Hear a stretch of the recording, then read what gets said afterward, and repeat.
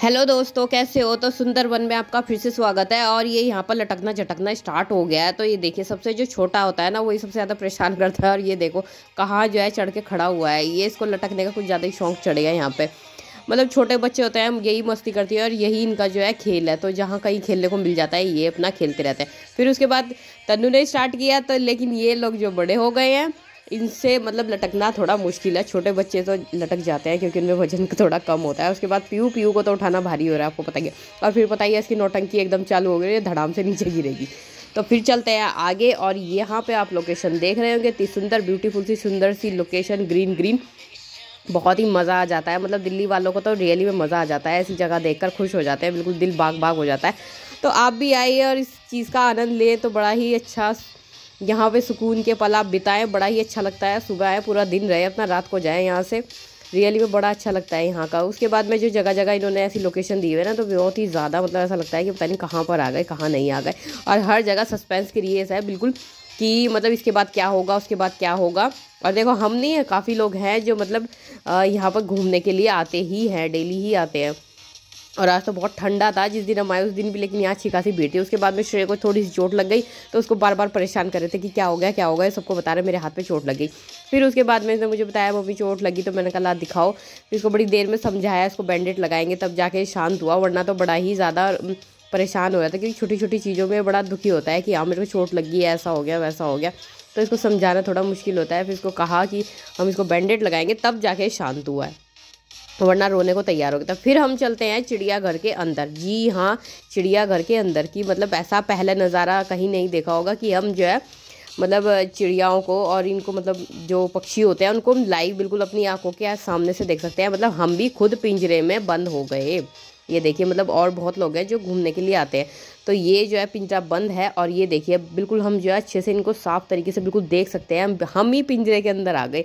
अब मतलब अगर देखो, देखा जाए तो मतलब कैसा लगता है ना कि हम तो सिर्फ़ घूमने घूमने के लिए और परमानेंट रहना लगे तो बड़ा ही अजीब है। लेकिन ये चीज़ बहुत ज़्यादा अच्छी है कि आप मतलब बिल्कुल इन्होंने ऐसा दिया हुआ है कि इसके अंदर पिंजरे के अंदर मतलब जाल के अंदर रास्ता बना दिया आने जाने का। आप बिल्कुल देख सकते हो, अच्छे से देख सकते हो। ये देखिए, ऊपर कितना ऊंचाई पे जो जाल। तो मतलब पंछी जो है, खुले आसमान में तो नहीं, लेकिन ये है कि अच्छे खासे जो है घूम सकते हैं, क्योंकि ज़्यादा पक्षी नहीं है, थोड़े हैं, लेकिन वो भी फ्री माइंड से होके बिल्कुल आराम से यहाँ पे घूम रहे हैं, खेल रहे हैं। और ये देखिए पेड़ पौधे मतलब ऐसा लगता ही नहीं है उन्हें। कि वो कहीं मतलब बाहर नहीं है। ये शतुरमुर्ग आप देख रहे हो बिल्कुल लाइव तरीके से हम इसको देख सकते हैं। और ये देखिए, हम हम भी मतलब पिंजरे में कैद हो गए हैं इसमें।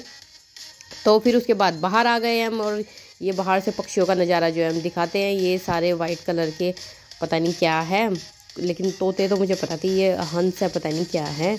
तो आपको पता हो तो आप मुझे कमेंट्स करके बताएँ, मुझे इनका नहीं पता नाम। ये डक है, कौन सी है? फिर इसके बाद हम मशरूम के नीचे खड़े हो गए फ़ोटो शूट किया, यहाँ पर बड़ा अब जो है एंडिंग का टाइम चल रहा है तो बस अब चलने का टाइम हो रहा है हमारा, काफ़ी टाइम भी हो गया उसके बाद। श्रेय को बोला, नाचने को मतलब तीनों को बोला हमने नाचने को, लेकिन सबसे ज़्यादा फुर्तीला तो यही है, इसको ये अपना कि आदमी मुँह से बात ख़त्म होगी और ये स्टार्ट हो जाएगा, बस ऐसा है। तो खेलना जो है बड़ा इसको अच्छा लगता है। और ये मतलब बड़ा ही ज़्यादा मतलब तीनों बच्चों ने वाकई में बड़ा इंजॉय किया है यहाँ पर। फिर इसके बाद में ये एक पुरानी सी टूटी सी हवेली आ, लकड़ी की हवेली है। तो मतलब पता नहीं किस चीज़ के लिए होगी डेकोरेट क्या किया होगा इन्होंने पता नहीं। या मतलब पुराने ज़माने का घर दिखाया होगा। और यहाँ पर मतलब घूमते हमें काफ़ी ज़्यादा टाइम भी हो गया ठंड भी हो गया भूख भी लगने लगी। अब तो चलते हैं घर की तरफ़ और क्या। तो यहाँ पर आए ये स्टार्टिंग में जो आपने झरना देखा होगा। तो हम फिर से मतलब उधर से ही हम जो है आ रहे हैं, क्योंकि हमने जो है इधर से कम देखा था उस टाइम पे, क्योंकि थोड़ी रोशनी उस टाइम पे कम थी। अब जो है रोशनी थोड़ी तेज़ हो गई है तो अब जो हम वापस आ गए हैं इधर की तरफ़, जहाँ से हमने स्टार्ट किया था। तो ये झरना है, यहाँ पर हमने फ़ोटो शूट करवाया और ठंडा जो है इतना ज़्यादा लग रहा था। हम यहाँ मैं तो यहाँ पर बैठ ही गई, थक ही गए थे हम तो काफ़ी ज़्यादा। तो ये श्रेय को बोल रहे थे हम कि गुफा कहाँ है? ये भी बेचारा चुपचाप बैठ गया, थक गए थे ना हम तीनों के दिन। मतलब सभी थक गए थे, इतना टाइम चलते चलते फिर उसके बाद में हमने गुफा वगैरह ये छोटी सी गुफा इसे पता नहीं किस चीज़ के लिए बना रखी थी। आ, ये नहीं पता तो यहाँ पे हमने फ़ोटो वगैरह काफ़ी सारा खिंचवाया और ये देखिए ये गुफा जो है आ, किसी चीज़ के लिए होगी ज़रूर अभी कुछ नहीं है इसके अंदर पता नहीं ऐसे ही बना रखी होगी कुछ नहीं कह सकते। तो फिर चलते हैं मतलब मेन एंट्रेंस की तरफ़ जो हमारा मतलब पहले रुक गया था छूट गया था तो हम चलते हैं उसकी तरफ़ और दिखाती हूँ एक बार आपको अच्छे से क्योंकि अब जो है थोड़ी रोशनी हो गई लाइटिंग भी इन्होंने मतलब जला दिया उस टाइम सुबह इतनी नहीं थी। अब आप हर चीज़ बिल्कुल इतमान से आप देख सकते हो। ये देखिए, अब रोशनी भी काफ़ी सारी हो गई है तो इसलिए बिल्कुल अच्छे से दिखाई देगा। तो ये बर्तन है और ये इनकी योग मुद्राएँ हैं, कैसे ही करते थे, कैसे नहीं करते थे। बाकी तो मुझे इतनी नॉलेज नहीं है इन चीज़ों के बारे में। बाकी ये बर्तन वगैरह तो आप देख रहे होंगे, मशीनरी वगैरह है, काफ़ी प्रकार की ये तांबे के बर्तन हैं। इसमें जैसे कभी यूज़ किए होंगे पहले तो ये टोटल सभी वो बर्तन और आइटम जो है यहाँ पर रखा हुआ है और पीछे आप देख रहे हो, योग की मुद्राएँ कैसे कैसे या नहीं है। फिर उसके बाद में हम जो करते हैं एंडिंग अपने ब्लॉग की और मतलब ब्लॉग की नहीं, अपने इस टूर की एंडिंग करते हैं और यहाँ पर जो है पहुँचते हैं एंड में। तो यहाँ से हम बिल्कुल निकलते हैं। तो श्रेय की तो अपनी मस्ती चलती ही रहती है अपना। और ये मतलब सब जगह सबसे आगे ही पता नहीं क्यों मिलता है। कहाँ से तो निकल के आता है, कहाँ से नहीं, इसका नहीं हमें पता चलता। अभी हमारे से पीछे था ना, फिर सबसे पहले बाहर निकल के आ गया। तो छोटे बच्चे तो ऐसे ही होते हैं फुरकू और कुछ नहीं। तो उसके बाद हम चलते हैं बाहर की तरफ़ और बाहर यहाँ पे थोड़ी देर रेस्ट करने लगे हैं, थोड़ी देर बैठे हैं, पीछे जो है पेड़ लगाया हुआ है, अष्ट पता नहीं क्या नाम है इसका, अष्टांग पता नहीं। और फिर से हमने उससे पूछा कि कहाँ चोट लगी है, फिर से इसने हाथ दिखाया कि हाँ मेरे हाथ मतलब यहाँ पे चोट लगी है। फिर उसके बाद में बाहर का लोकेशन आप देख रहे हो तो यहाँ पे भी हमने थोड़ा फोटोशूट कराया, क्योंकि बाहर आए तो फोटोशूट बनता ही है, आप लोगों को दिखाना बनता ही है यहाँ पर कि हम कहाँ गए हैं, कैसे गए हैं और कैसे मतलब कितना अच्छा नज़ारा है। मतलब रियली में अगर आप मेरी वीडियो देखकर आसपास हो या कभी इधर की तरफ़ आते हो, हरिद्वार की तरफ़ आते हो तो आप रियली में एक बार ज़रूर आओगे यहाँ देखने के लिए, क्योंकि यहाँ पे औषधियों का भंडार है रियली में एक सुकून के पल हैं। आपको मतलब हर चीज़ का, उत्तराखंड का पूरा टोटल नज़ारा सिर्फ़ एक जगह पे मिल जाएगा। और बाकी आपको बच्चों को भी दिखाना चाहिए कि हाँ योग भी ऐसी चीज़ होती है। अब मेरे बच्चे काफ़ी चीज़ समझ चुके हैं इस चीज़ को। ये देखिए सी कबूतर जैसी गर्दन कैसे करता है ये। मतलब वाकई में तो बड़ा नौटंकी है।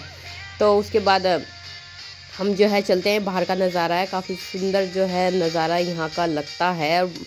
इन्वायरमेंट तो आप बिलीव नहीं करोगे कितना ज़्यादा अच्छा होगा यहाँ का कि मतलब धूल भरी ज़िंदगी से हम थोड़े सुकून के पल निकाल के इधर आए हैं और इतना अच्छा जो है इन्होंने यहाँ पे लोकेशन बनाई है, वाकई में बड़ा अच्छा है। फिर उसके बाद में चलते हैं थोड़ा सा और आगे और यहाँ पे जो है बाहर जाने का रास्ता है और थोड़ा ये हमारा मिस हो गया था जब हम वापस मतलब आए थे, तब ये हमारा थोड़ा मिस हुआ था। तो अब जो है हम अपनी जो जो हमारा रह गया था, हम दोबारा शूट करते हैं यहाँ पे इधर से आते हुए। तो ये जो है बेल वेल इन्होंने हर प्रकार की, पता नहीं कैसे कैसे प्रकार की जो बेल और ये घास लगी हुई ना, इतनी ज़्यादा सुंदर थी ना कि शायद कैमरे में ना शूट हो पाए, क्योंकि मौसम जो ऐसा ही था, बादल वाला था बिल्कुल, और लेट भी हो गया था, लेकिन ये बिल्कुल ग्रीनरी और इतनी साफ़ सुंदर लग रही थी ना। कि बिना इनको हाथ लगाए हुए रहा ही नहीं जाता इतनी मखमल ऐसा लग रहा था जैसे मखमल सॉफ्ट कपड़े नहीं होते। मखमल वाले, उनको हम बिल्कुल मतलब स्पर्श कर रहे हो। मतलब इतना ज़्यादा अच्छा लगा था। मैं तो मतलब बैठी गई इनको छेड़ने के लिए। और इनके नाम भी थे, पता नहीं कौन कौन सी बेल जो ऐसा करके लिखा हुआ था इन्होंने। तो मतलब मैं मन गया तो मैं इसको खाड़ के ना ले चलूँ, लेकिन वही है कि बस अपनी हरकतों से तो बाज नहीं आते ना।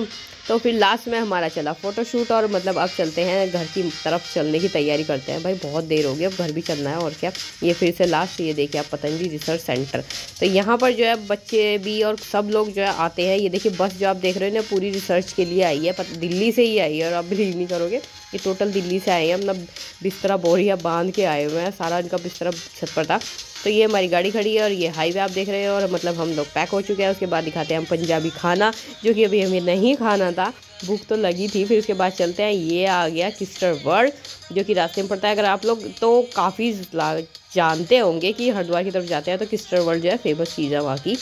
और कुछ नहीं, ये देखिए किस्टर वर्ल्ड का पूरा का पूरा लोकेशन है। तो होपफुली गाइज़ आपको जो है आज का ब्लॉग पसंद आया होगा। थोड़ा सा भी पसंद आता है तो प्लीज़ मुझे लाइक कर दिया करो और कमेंट्स कर दिया करो कि आपको घूमना पसंद है या नहीं है। क्योंकि अभी जो है धमाकेदार घूमने वाले ब्लॉग जो है आने वाले हैं। तो वीडियो का करते हैं एंड बाय बाय